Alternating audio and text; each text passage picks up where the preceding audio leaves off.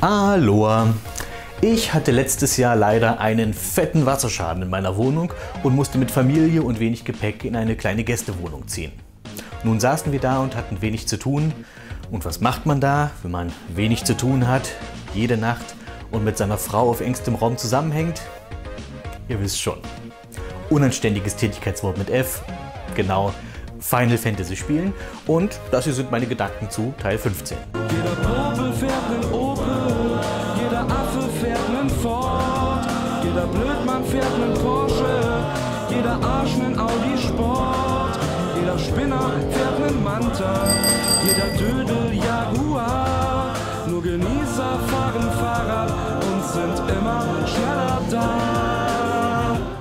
Und jetzt fragt ihr euch vielleicht, warum ausgerechnet 15? Die Reihe hatte doch viel bahnbrechendere Momente oder größere Nostalgiebomben. Weil ich irgendwie eine seltsame Hassliebe dafür entwickelt habe. Okay, Hassliebe ist zu stark. Nennen wir es lieber Unmutsmögelei, um keine zu starken Vokabeln zu verwenden. Irgendwie mag ich es mehr, als ich eigentlich sollte und eigentlich zugeben möchte. Andererseits schreit es einem auch dauernd ins Gesicht, dass es eigentlich ganz schöner Schrott ist. Und dabei beginnt es sogar mit einer Referenz an einen meiner Lieblingsfilme. Mir fallen die Arme ab. Kann sie dir auch ausreißen. Ist ja schon gut. Will keiner ran? Nein, ständig besetzt. Sag mal, geht das nur mir so? Oder ist der Weg länger geworden? Keine Angst, die Karte stimmt. Wisst ihr, früher hätte es mich mehr aufgeregt, dass sich ausgerechnet der Kitsch-Verein von Square, das wird doch eh nix traut, ein gefühlvolles und mitreißendes Werk wie Stand By Me zu zitieren. Pokémon, ja, das ist okay. Aber Final Fantasy, äh. Inzwischen bin ich da aber entspannter, einfach weil ich weiß, dass es noch viel schlimmer sein könnte. Schaffen wir also als erstes direkt die Stand By Me Vergleiche aus dem Weg, bevor ich mehr ins Detail gehe. Der Prolog zeigt die Hauptfigur als Erwachsenen, dann folgt ein Sprung in die Vergangenheit, wo die eigentliche Geschichte stattfindet. Man begleitet vier Jungs: Sensibelchen, Fan-Favorite, Streithammel und Nervensäge, den die coolen Kids nur aus Mitleid mit rumhängen lassen. In Stand By Me suchen vier Jungs das Abenteuer, in FF15 suchen vier Jungs den Plot. In Stand By Me hat einer einen Egel an den Eiern, FF15 hat ein Ekel, das sich zum Ei macht. In Stand By Me geht's um eine Leiche, in FF15 geht's um Laich. In Stand By Me reden die Jungs über Titten, aber es gibt keine zu sehen. In FF15 gibt's Titten, aber keiner redet drüber. Zur Sache. Und ab hier werde ich knallhart spoilern. Nur zur Info.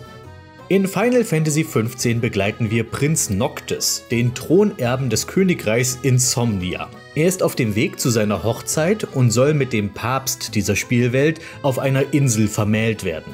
Doch gerade als Noctiboy dabei ist, die Fähre zu betreten, kommt in den Nachrichten, dass seine Heimat angegriffen wurde.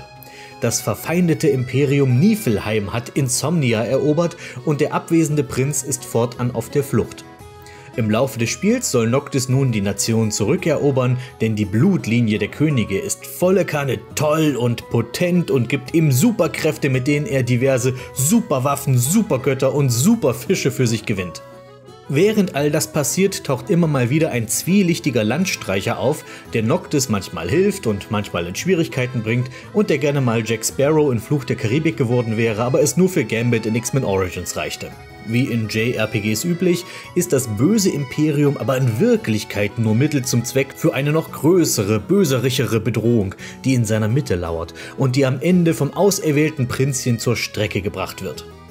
Man muss diese Namensgebung lieben, oder? Wo wohnt das böse Imperium? In Niflheim. Also weit weg von Subtilistan. Kann ich mir richtig vorstellen, wenn man in dieser Welt nach dem Weg fragt. Was? Ah, du willst nach Niflheim? Ja, dann fährst hier weiter nach Hades und dann rechts abbiegen äh, nach Richtung Fegefeuer. Und dann fährst du auf den Avernusser Ring und äh, so bis zur Raststätte Hölle, Hölle, Hölle. Aber pass auf, wenn du die Abfahrt Peterfeld siehst, du bist zu weit gefahren, da willst du nicht in Globen. Die Handlung und die Spielwelt klingen jetzt erstmal etwas plump, aber tatsächlich stecken in beiden gute Ideen drin. Die Verkettung der Themen Götter, Technologie, Magie und Aliens ist schon längst ein Markenzeichen der Final Fantasy Reihe und funktioniert auch hier wieder ganz gut. Zumindest dann, wenn diese Dinge denn präsent sind. Auf der einen Seite besuchst du einen gewaltigen Titan, der ganz im Atlas-Style einen Meteor trägt. Und später erfährst du dann, welchen Einfluss jener Meteor auf die Welt hat. Doch äh, zwischen diesen beiden Dingen liegen halt 20 Stunden Campingurlaub, Giraffen verprügeln, Autoteile suchen, noch mehr Giraffen verprügeln, Fotos für den pummeligen Klischee-Neckbeard machen, frische Fische fischen und besonders viele Giraffen verprügeln. Chefdesigner des Spiels, Tetsuyo Nomura, musste als Kind nämlich mit ansehen, wie seine Familie von einer Herde blutrünstiger Giraffen zerfleischt wurde und aus Rache gibt er nun jedem seiner Protagonisten diese Frisur hier. Ein Grundproblem von Final Fantasy XV ist einfach, dass es auf zwei Hochzeiten gleichzeitig tanzen will, obwohl Noctis nicht mal seine eigene auf die Kette kriegt. Es will Open World sein, mit allen Vor- und Nachteilen, die dieses Genre mit sich bringt. Aber gleichzeitig will das Spiel auch das typische handlungsfokussierte JRPG mit viel Plot, Wendungen, langen State-of-the-Art Zwischensequenzen und metrosexuellen Superschurken sein. Es gibt nur leider eine Grenze, wie dringlich ich die Rettung der Welt empfinden kann, wenn ich vorher tagelang in Ruhe sämtliche Raststätten an der Autobahn durchprobiere. Und um eurem Gegenargument direkt vorwegzugreifen, ja, ich weiß, dass das in älteren RPGs auch so war, aber dort war das Zeitgefühl völlig anders, beziehungsweise die Zeit verging eben nicht, bevor du in der Handlung weiterspielst. Alles war in einem Jetzt-Zustand. Bei Open-World-Spielen hingegen ist es ein wichtiges Merkmal, dass Zeit vergeht und gerade FF15 stößt dich mit seinen Abendaktivitäten dauernd darauf. Das wäre alles ja kein Problem, wenn das Spiel den Einsatz, um den es geht, einfach etwas runterdrehen würde. Statt Rette die Welt, Thronerbe, vielleicht wirklich einfach nur Mach einen Junggesellen-Abschieds-Roadtrip, Knabe aus der Mittelschicht. Und unterwegs erledigst du Quests, um die Reise zu finanzieren. Nur leider ist das hier ja Final Fantasy, also ist der Weltuntergang das Mindeste, um das es gehen muss. Und natürlich muss auch ein großer Zauberkristall und jede Menge Tragik drin vorkommen, während du durch die Gegend kachelst und Pommes fressen gehst.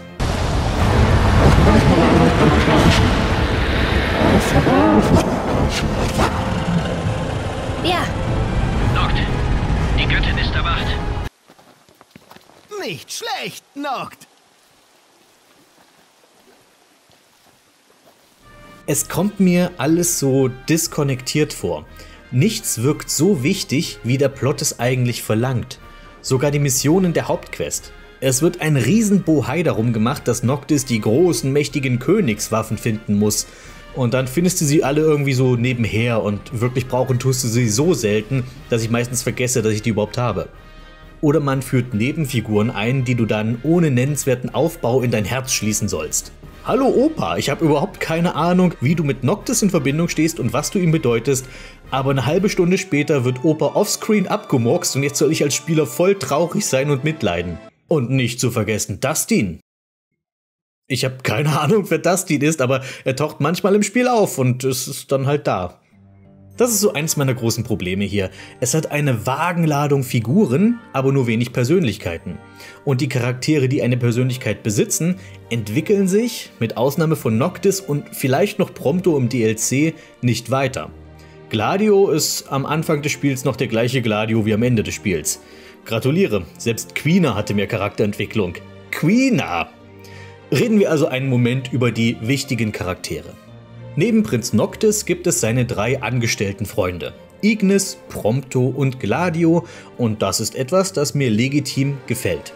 Du hast eine kleine Heldengruppe, die von Anfang bis Ende zusammenbleibt und sich nun mal ganz selten kurz aufsplittet, aber eben nie dauerhaft. Dadurch hast du halt nicht diese verspäteten Teamzuwächse wie in anderen Spielen, die bereits die halbe Geschichte verpasst haben und jetzt aber trotzdem so eine enge Bindung zu dir haben sollen wie die Gefährten der Stunde Null. Manche Leute stürzt nicht, aber ich konnte nie was mit Figuren wie Mahagon in FF9 oder Sid in FF7 anfangen oder diese Githzerai-Dame in Neverwinter Nights 2, deren Namen ich mir nicht mal merken kann, oder Atea in Lufia oder Jay Frog in Scooter. Dieses Quartett geht von Anfang bis Ende durch dick und dünn und dieses beste Freunde für immer Ding ist quasi Final Fantasy XVs Identität. Noctis ist der Anführer, aber das nur durch Geburt und nicht durch Tat. Und das meine ich keinesfalls als Kritik, sondern es ist ein wesentlicher Aspekt der Handlung und seiner Charakterentwicklung. Er wird von der Situation und seiner Verantwortung völlig überfordert und muss erst in die Anführerrolle reinwachsen. Nicht umsonst startet er als Prinz, soll aber plötzlich von jetzt auf gleich König sein. Hast du an einem Tag deinen Vater und deine Braut verloren? Ich kam her, um einen König zu finden. Stattdessen finde ich einen greinenden Knaben. Leider entschied man sich bei Squaresaft, diesen Reifeprozess dadurch darzustellen, dass Noctis im Grunde ein quengelnder Teenager ist. Faul, kommt morgens nicht aus dem Quark, schnell von allem genervt und trägt trotz Marsch durch die Wüste nur schwarze Kluft. Gut, das tun seine Kumpels auch, aber bei denen ist das ja quasi Dienstkleidung. Tipp von mir, man kann die Jungs auch umziehen. Die Wechselsachen sind auch nicht das Gelbe vom Chocobo, aber allemal besser als durchgängig schwarzbraun ist die Kuponuss. Die einzige Sache, bei der Noctis wirklich aufblüht, ist Angeln? Yeah, Angeln. So motiviert sieht man dich selten. Wenn ich an schwarz gekleidete Edgelord-Jugendliche denke, dann denke ich auch direkt, dass das voll die leidenschaftlichen Petri-Jünger sind, die nach der Schule erstmal die Lurre auswerfen gehen. Und nein, das ist kein geflügeltes Wort für Selbstbefriedigung. Glaub ich. Ich hab nicht mal was gegens Fischen, aber das Spiel hat so eine eigenartige Faszination, beinahe Besessenheit damit, dass ich mich schon frage, ob da nicht einer der Entwickler sein Lieblingshobby unbedingt prominent einbauen musste. Angeln ist eine der umfangreichsten Nebentätigkeiten, die dir das Spiel die ganze Reise über immer wieder aufdrängen möchte. Du bist gerade auf einer Mission zur Rettung der Heimat oder bei einer Monsterjagd. Du kommst an einem Tümpel in einem versifften Industriegebiet vorbei und alle vier einstimmig Geil! Angeln! Fucking Barmut kann warten! Noctis muss erstmal einen Barsch an Land ziehen! An sich ja eigentlich gar keine doofe Idee, dem sonst eher uninteressanten Helden so einen ungewöhnlichen Fable zu verpassen, dadurch prägt er sich besser ein. Was daran eigentlich bizarr ist, ist das Verhalten der drei anderen. Also, dass nicht wenigstens einer davon ein Stellvertreter für all die Spieler ist, die jetzt nicht so aufs Fischefangen scharf ist. Gerade der aufgekratzte Prompto muss sich doch zu Tode langweilen, aber er beschwert sich kein einziges Mal. Es ist ja nicht mal so, als ob alle vier angeln würden. Nein, nur Noctis hat eine Beschäftigung und der Rest steht hinter ihm rum und wartet, bis er fertig wird. Stundenlang. Tagelang. Apropos Prompto, er ist der Sprücheklopfer im Team, der nie den Sabbel halten kann, der aber eigentlich nur seine Unsicherheit hinter einer dauerfröhlichen Fassade verbirgt. Außerdem hat er ein Interesse an Mechanik und will so ein bisschen der beste Kumpel des Helden sein. Kurzum, er ist eine nahezu 1 zu 1 Kopie von Xel aus FF8. Das ist nicht zwangsläufig schlecht, fällt aber einfach auf. Seine zwei wichtigsten Tätigkeiten für das Spiel sind jedoch Pistole schießen und Fotos schießen. Das mit den Fotos ist ein nettes Feature. Prompto macht automatisch Schnappschüsse während des Tages und abends vor dem Schlafengehen kannst du sie dir dann ansehen, aussuchen und speichern. Du bist begabt, Prompto. Are you sure about that? Dadurch entsteht ein Gefühl von Zeit. Tage verstreichen nicht einfach so, sondern die Jungs erleben was und dokumentieren es. Ansonsten war Prompto für mich über weite Strecken von FF15 der uninteressanteste Charakter, da er in erster Linie Comic Relief und nicht viel mehr ist. Später stellte ich dann fest, dass das daran liegt, dass knapp 90% seiner Hintergrundgeschichte ausgelagert wurde. Aber über das Thema reden wir noch. Gladio ist so der Mann fürs Grobe im Team, er ist Noctis Bodyguard und gleichzeitig sein ärgster Kritiker. Er erwartet viel von seinem künftigen König und ist darum schnell gereizt, wenn dieser rumjammert oder sich hängen lässt. Du Lusche! 1A eingesprochen, super Leistung. Gladio ist die Sorte Freund, der dir den verdienten Tritt in den Hintern gibt, wenn du in Selbstmitleid versinkst. Das ist eine Weile ganz interessant, wird aber gerade gegen Ende des Spiels ziemlich penetrant. Ach ja, und er baut das Zelt auf beim Campen, ganz wichtig. Zum Schluss haben wir Ignis. Er ist der beste Charakter im Spiel und alle lieben Ignis, sowohl die anderen Figuren im Bildschirm als auch die Fans vor dem Bildschirm. Er ist verantwortungsbewusst, zuverlässig, unaufdringlich, Noctis engster Berater, er fährt das Auto, er kocht auf der Reise und seine Gerichte geben verdammt gute Buffs. Er ist der Stratege im Team, er weiß, wo es als nächstes hingeht, er leitet geheime Militäroperationen. Ähm, halten wir fest. Noctis angelt, Prompto fotografiert, Gladio baut das Zelt auf, Ignis macht alles, was wichtig ist. Außerdem trägt er Klamotten, die nicht aussehen, als hätte jemand einen Viva-Moderator ausgeraubt. Und er trinkt in etwa so viel Kaffee wie ich. Eindeutig der beste Charakter im Spiel und locker der zweitbeste Ignis in einem Videospiel überhaupt. Wenn das hier Herr der Ringe wäre, dann wäre Ignis, Sam und Gandalf in einem. Also die zwei Gefährten, ohne die nichts gehen würde. Gladio und Prompto sind Boromir und Pippin und Noctis ist äh, Eowyn. Keiner nimmt ihn ernst, aber am Ende darf er den Hexenkönig töten. Es gibt in dieser Gruppendynamik spät im Spiel einen harten Knick, den ich hier gerne ansprechen will, aber ich möchte trotzdem nochmal Spoilerwarnung geben. Okay? Okay. In der zweiten Spielhälfte geraten die vier Freunde in eine Schlacht, bei der Ignis sein Augenlicht und damit im Kampf seine Bedeutung verliert.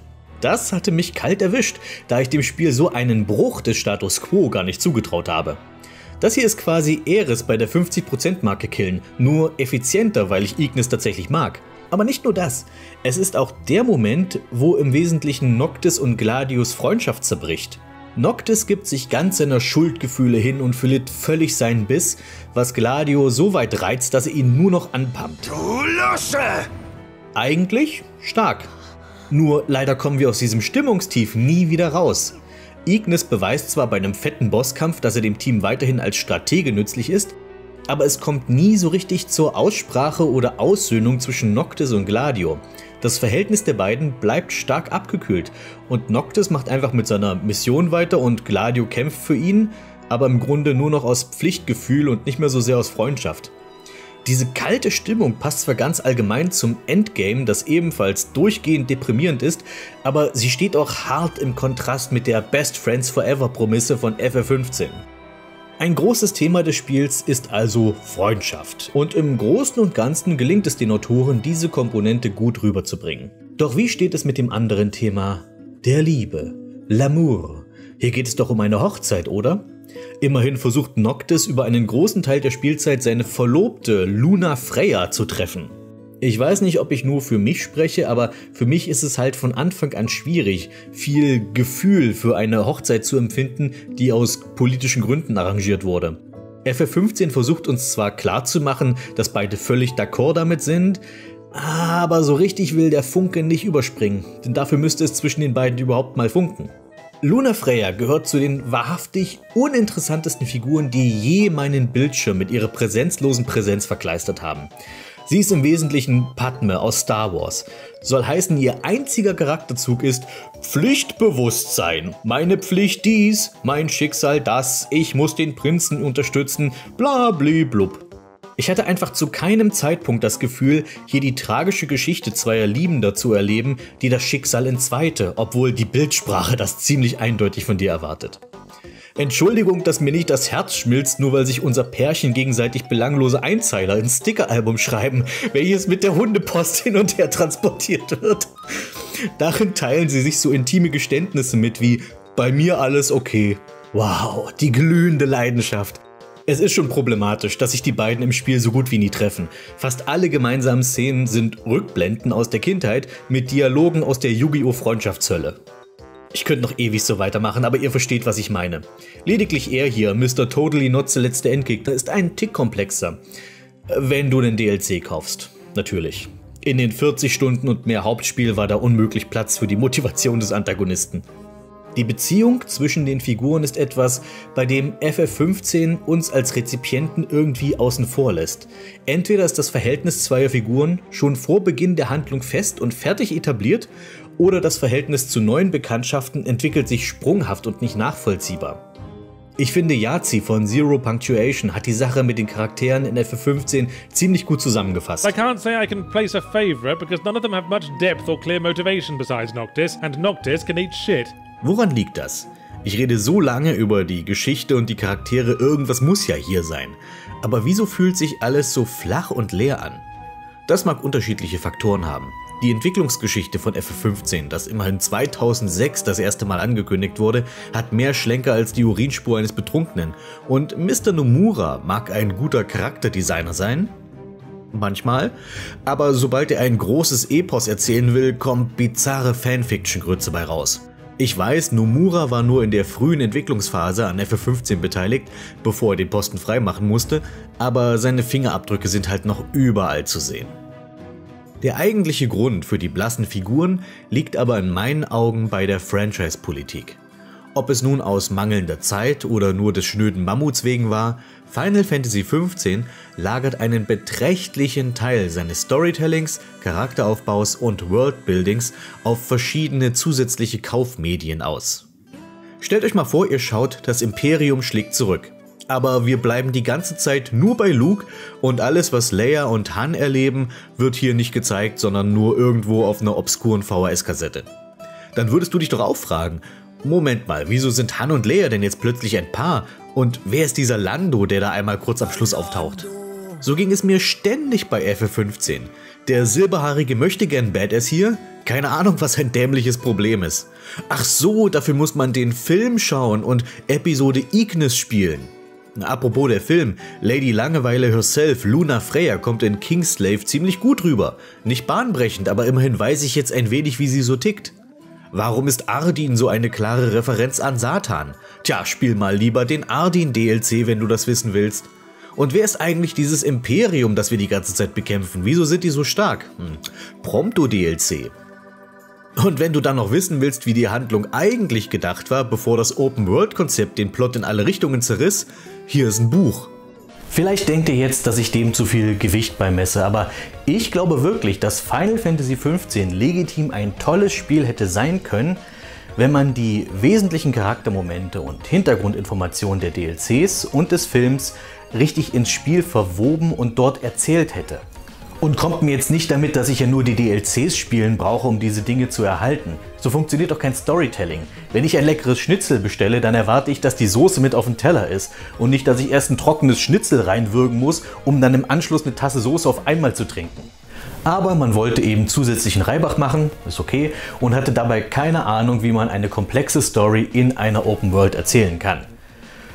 Final Fantasy XV hätte ein tolles Spiel sein können, wenn es wüsste, auf welcher Hochzeit es tanzen will. So, und damit ist doch jetzt eigentlich alles erzählt, oder? Naja, also, außer vielleicht Gameplay, Spielwelt, Präsentation. Um,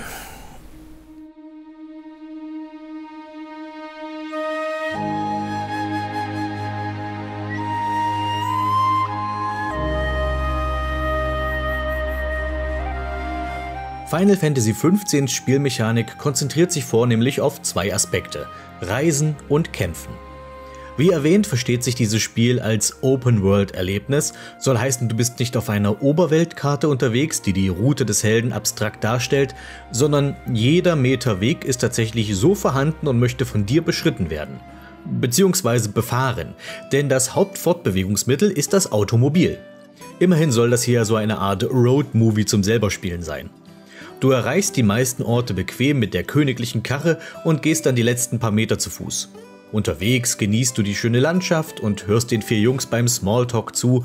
Manchmal sehen sie sogar unterwegs irgendwas, das sie interessiert und bitten dich anzuhalten. Was du dann machen kannst oder sie abblitzen lässt. Das Auto darfst du dann noch tunen, aufpimpen, umfärben und mit potthässlichen Aufklebern verschandeln.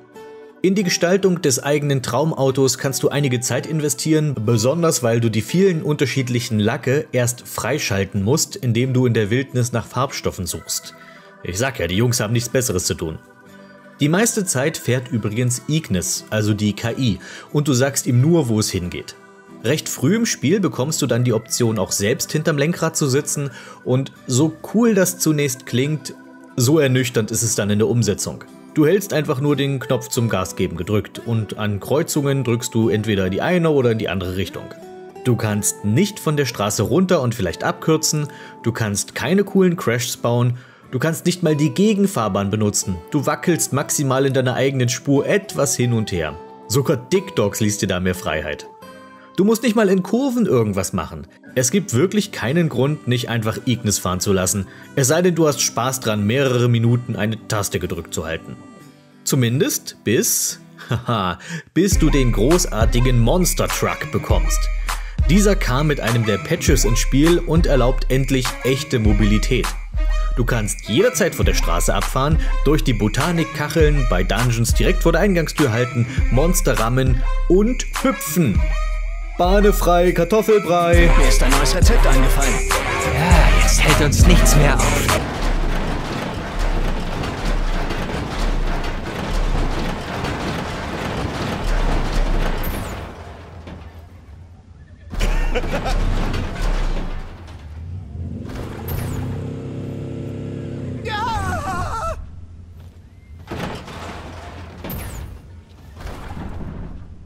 Gegen Ende des Spiels fliegt das Auto sogar, wenn du ein paar verschiedene spezielle Autoteile findest, was cooler klingt als es ist. Es gibt nur eine neue Sache damit zu entdecken, einen atmosphärischen, aber verdammt nervtötenden Jump-and-Run-Dungeon, weil Hüpfeinlagen in RPGs schon immer eine tolle Idee waren. Das Problem ist, du kannst nur auf Straßen landen, weshalb du die entlegeneren Winkel der Welt weiterhin besser mit dem Jeep erforscht. Zum entspannten Rumfliegen wie als Birdman in Pilotwings 64 ist es aber ganz chillig, wie ihr Jugendlichen sagen würdet. Ein weiteres Fortbewegungsmittel ist der Chocobo, Final Fantasys ikonische Reithühner. Die Viecher waren die ursprüngliche Offroad-Option, die durch die Ergänzung des Trucks ziemlich an Relevanz verloren. Sie sind eigentlich immer noch ziemlich gut und weitaus wendiger als der dicke Brummi, aber ebenso unfassbar uncool wie immer. Ich kann Chocobos nicht leiden. Außer Theo. Eine meiner Lieblingsmethoden, um von A nach B zu kommen, ist tatsächlich zu Fuß. Und das liegt zu einem Großteil daran, dass die besten Musikstücke des Spiels dann ertönen, wenn dich die Wanderlust packt. Es dauert zwar ewig, bis man irgendwo ankommt, aber die meiste Zeit herrscht sowieso eine derart entspannte Atmosphäre, dass es ganz passend ist.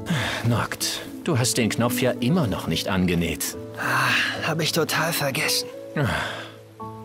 Sobald wir Rast machen, gibst du mir die Jacke. Verstanden? Ja, Mama.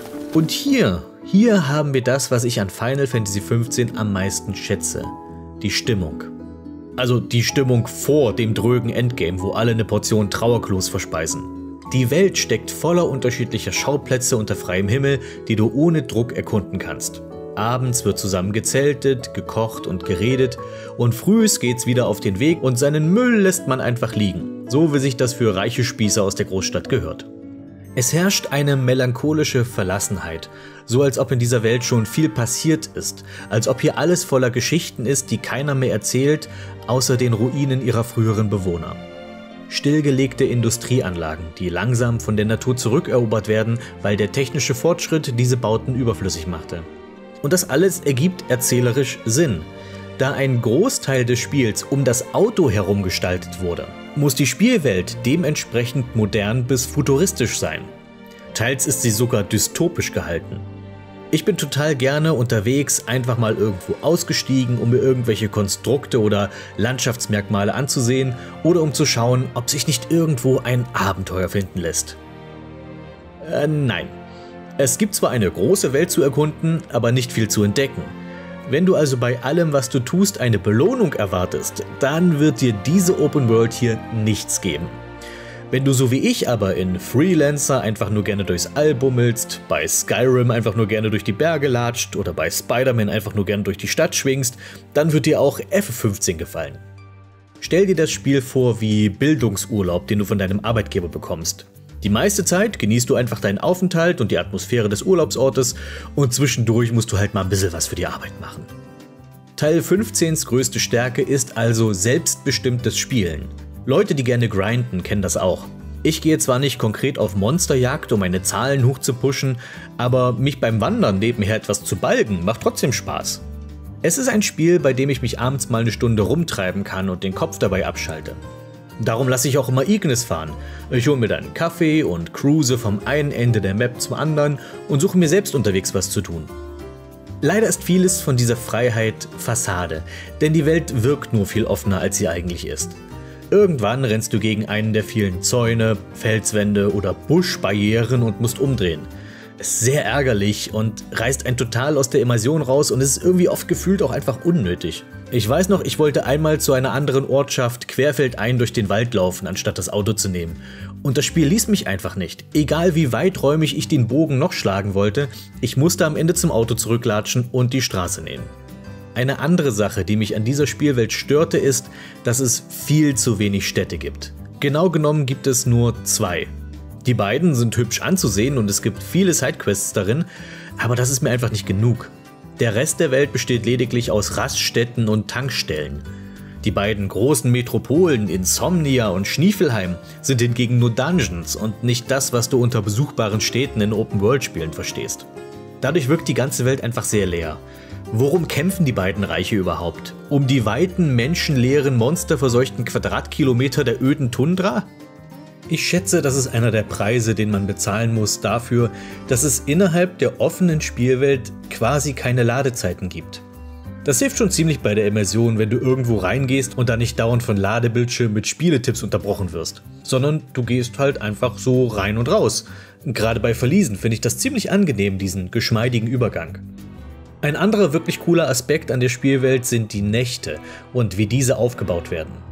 Von Anfang an versucht dir FF15 Angst vor der Dunkelheit zu machen. Deine Gefährten drängen darauf, einen sicheren Unterschlupf zu suchen, sobald es dämmert. Ignis weigert sich zu fahren nach Anbruch der Nacht und Prompto macht sich prompt O in die Hose, wenn du dennoch nach Sonnenuntergang Ausflüge machst. Und warum? Im Dunkeln, da kommen die Siecher raus. Siecher sind besondere Monster, die eng mit dem Plot verwoben sind und die nur in der Dunkelheit erscheinen, also nachts oder in Verliesen. Sie sind gerade zu Beginn des Spiels oft höher im Level als du, manchmal so viel höher, dass du bei einer Begegnung nur wegrennen kannst. Außerdem haben sie eigene Musik, die so richtig schön nach Chaos und Panik klingt, während dir die Biester im Nacken sitzen und du schreiend und heulend zum nächsten Refugium oder einer rettenden Raststätte rennst. Ich kann wirklich nicht genug betonen, wie gut und konsistent gut die Idee der Siecher ins Spiel implementiert ist. Immer wenn du denkst, das Prinzip sei langsam abgedroschen, da zeigt die FF15 irgendwas Neues. Als Erwachsener ist das zwar nicht mehr so wirkungsvoll, aber wenn ich mir jetzt vorstelle, ich wäre 8 oder 9 Jahre alt und hätte damals FF15 gespielt, ich hätte sowas von panischer Angst vor den Nächten in diesem Spiel gehabt. Hier stimme ich darum mal dem Angeberspruch zu, der bei jedem Spielstart gezeigt wird. Ein Final Fantasy für Fans und Neueinsteiger. Denn ich denke, dieser Aspekt hier kann beide Zielgruppen gleichermaßen beeindrucken. Außer dass Bomber zu den Sichern gehören. Sorry Square, aber Bomber werden niemals gruselig sein. Ab einem bestimmten Zeitpunkt in der Handlung endet das Reisen in der Open World. Und das Spiel wird extrem linear. Ich meine, du sitzt dann einen Großteil der Zeit im Zug. Viel linearer geht's eigentlich nicht. Und da der größte Teil der Spielzeit von Sidequests ausgefüllt wird und die Hauptgeschichte eigentlich für sich genommen recht kurz ist, ist dieser Punkt schon so ab circa der 70% Marke erreicht. Und da muss ich sagen, dass das Spiel qualitativ anschließend arg abstürzt. Die Zugidee ist ganz nett, recht erfrischend nach der vielen Zeit im PKW.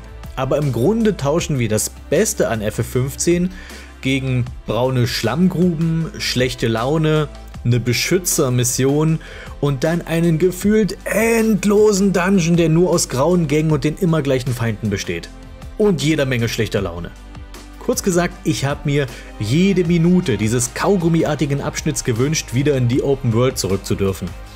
Und äh, scheinbar ging es nicht nur mir so, denn die Macher haben tatsächlich einen Weg eingebaut, um wieder zur eigentlichen Spielwelt zurückzukehren, selbst wenn diese in der Handlung eigentlich schon untergegangen ist dank Zeitreisehund.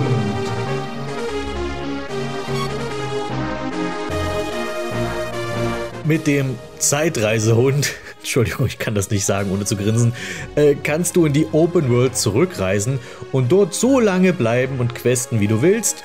Und man fragt sich, warum Noctis nicht einfach für immer dort bleibt, statt in die leere, hoffnungslose Zukunft zurückzukehren. Nicht wahr, Trunks? Die Nebenaufgaben sind größtenteils Monsterjagden, Fotos schießen, Angeln und zusätzliche optionale Dungeons besuchen, die von cool über interessant bis zu was soll dieser Gimmickmüll hier rangieren.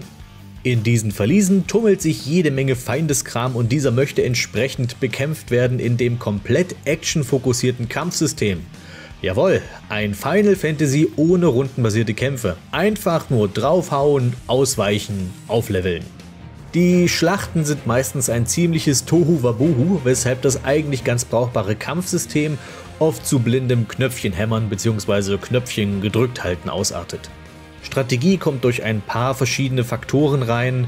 Manche Gegner nehmen bei bestimmten Waffengattungen mehr oder weniger Schaden. Es gibt Langschwerter, Dolche, Zweihänder, Pistolen und vieles mehr. Noctis kann dabei jede Waffe verwenden, während seine Gefährten auf bestimmte Arten spezialisiert sind. So ähnlich ist es auch mit der Elementarmagie, wobei ich diese nur sehr selten eingesetzt habe, weil sie Friendly Fire hat und flächendeckend wirkt. Es gibt also kaum eine Möglichkeit, seine eigenen Leute nicht damit zu treffen. Dazu kommen verschiedene Spezialangriffe, hinterhältige Angriffe, Teamangriffe sowie Noctis hervorstechendste Eigenheit im Gameplay, Teleportation. Teleportation ist eine der vielen Gaben, die Noctis einfach so hat, weil er halt ein Prinz ist. Damit kann man Gegner im Kampf überraschen, schnell die Position wechseln und sogar von höher gelegenen Punkten das Schlachtfeld überblicken und einen erneuten Überraschungsangriff starten. Teleportation ist ein sehr spaßiges Feature, das leider nur im Kampf Anwendung findet und um Sachen wegzuerklären, die keiner gefragt hat. Zum Beispiel, warum die Figuren plötzlich Waffen haben, wenn Feinde auftauchen. Anscheinend können Mitglieder der Königsfamilie ihre Teleportgabe in geringerer Form an Gefährten ausborgen, damit diese Waffen von und zu sich aus der Hosentaschendimension beamen können. Sehr praktisch jedenfalls. Etwas zu praktisch vielleicht, denn dann stelle ich mir in solchen Momenten die Frage, warum klettert Noctis hier die Leiter hoch, anstatt sich einfach hochzuzappen? Der Schwierigkeitsgrad von FF15 ist übrigens eher niedrig.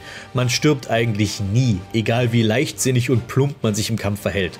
Es gibt so viele Auffangnetze, durch die Noctis plumpsen müsste, um ein Game Over zu sehen, dass sich Frust eigentlich nur auf die manchmal sehr unübersichtlichen Dungeon beschränkt. Besonders die Kanalisation ist absolut grauenhaft und wie immer das schlechteste Level im Spiel, wie in jedem Spiel. Dabei ist FF15 ansonsten, ihr seht es selbst, sehr hübsch gehalten. Zumindest die Oberwelt. Die Verliese sind optisch meistens ziemlich unspektakulär, während man das Gefühl bekommen kann, dass alle Grafikressourcen in Altissia, dem Venedig dieser Welt, gepumpt wurden. Die Stadt sieht wirklich wunderschön aus und die Macher haben dafür gesorgt, dass du oft Gondel fährst und dabei ihre Arbeit bestaunen dürfen musst. Die Charaktermodelle gehen alle, naja, größtenteils echt in Ordnung. Gerade unsere Boygroup. Keine Ahnung, was den Designer geritten hat, Gladio eine Fukuhila zu geben. Vielleicht, weil er die Statur eines Wrestlers hat und dann kann er auch eine Frisur wie ein Wrestler haben. Ein paar der Nebencharaktere sehen dagegen in der Nahaufnahme ziemlich schäbig aus. Die Ministerin hier ist so ein ganz heißer Uncanny Valley-Kandidat. Das ist aber alles nur so Kleinkram. Wenn ich an der Optik etwas zu kritteln habe, dann die oft nicht sehr einfallsreiche Gestaltung der Fauna. Bei den Monstern sind es oft die üblichen Verdächtigen der Final Fantasy Reihe. Oder Giraffen und andere Pseudo-Tierwesen. Die Midgar Solom ist ganz cool, aber halt nur eine Referenz an FF7 und kein wirklich eigenes FF15 Monster. Jedenfalls, einfallslose Monster und Tiere und das betrifft besonders das ohnehin schon langweilige Angeln. Wieso sehen die alle wie echte Fische aus? Das hier ist ein Fantasy-Universum, warum keine abgefahrenen Fantasiefische? Los, ihr Schlauberger von Square Enix, ihr könntet hier eurer Kreativität freien Lauf lassen. Und wenn schon nicht kreativ, dann lasst mich wenigstens eine Riesenkrake angeln. Verdammt, eins, Riesenkraken machen doch alles besser. In puncto Musik gefällt mir FF15 am besten, wenn es ruhig zugeht. Die Stücke Wanderlust und Sunset Waltz gehören inzwischen zu meinen Lieblingsthemen des Final Fantasy Franchises überhaupt. In ihnen steckt all die Freude und Wunder des Erkundens, kombiniert mit der Melancholie einer verletzten Welt voll Vergänglichkeit. Der restliche Soundtrack ist okay, nichts, was ich mir abseits der eben genannten Stücke im Alltag anhören würde, aber völlig solide.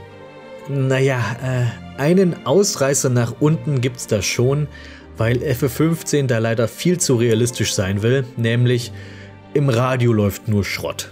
Wenn du mit dem Auto unterwegs bist, dann kommen dafür eigene Lieder im Radio. Und hier schwächelt der Soundtrack gewaltig. Zum Glück gibt es das coole Feature, dass du unterwegs an der Tanke CDs kaufen kannst mit Soundtracks vergangener Final Fantasies. Nice, da kaufe ich mir doch den FF7 Soundtrack. In dem Spiel gibt es ein paar entspannte Tracks, die für die sonntägliche Spazierfahrt bestens geeignet sind. Costa del Sol, Ahead on Our Way, Under the Rotten Pizza. Nur leider sind die nicht dabei.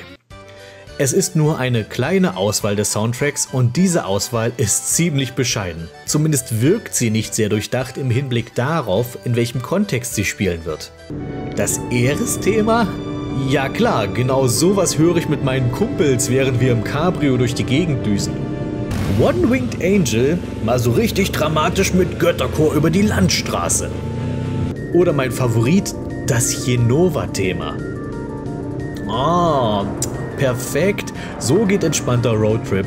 Ein Käffchen, ein gutes Buch, die warme frische Luft um die Nase und psychedelisches Gedudel über Alien-Parasiten. Die Wahl der Sprecher finde ich im Großen und Ganzen sehr passend und teils sogar hochwertig. Nur irgendwas muss bei der Regie schiefgelaufen sein. Namenhafte Sprecherinnen und Sprecher wie Dina Kürten, die immerhin Elsa bei der Eiskönigin und äh, Pomeluff in Super Smash Bros. Ultimate war, kommt hier sowas von hölzern rüber. Und das liegt meiner Meinung nach nur bedingt an der Leistung der Person vorm Mikro. Wie kannst du so etwas sagen? Ich bin ja eh dafür, dass man Pizzatuna Freyers stinklangweilige Ansprache ans Volk etwas realistischer hätte vertonen sollen. Sie steht auf einem Platz mit hunderten Menschen. In einer Stadt, die von Wasserfällen umgeben und von Aquädukten durchzogen ist. Und sie spricht mit normaler Lautstärke, ohne ein Mikrofon zu haben. Ich finde, das müsste so klingen.